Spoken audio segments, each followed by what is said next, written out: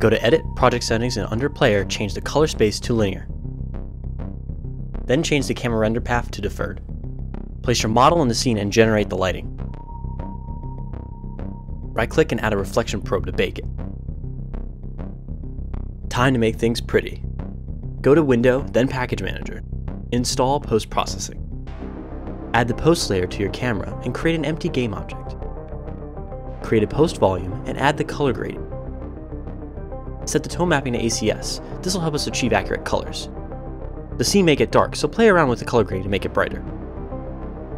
Speaking of dark, let's crank up that directional light. That's better.